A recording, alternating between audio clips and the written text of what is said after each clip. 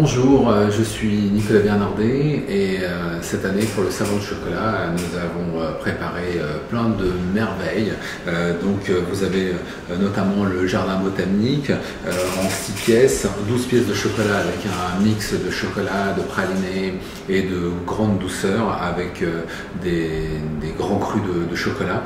Et puis cette année une petite nouveauté, les petites tablettes mendiant dans son écrin douceur et ses petites boîtes le traditionnel euh, cookies euh, chocolat enrobé euh, chocolat au lait et chocolat noir, croustillant et avec une légère petite pointe de sel à la fin.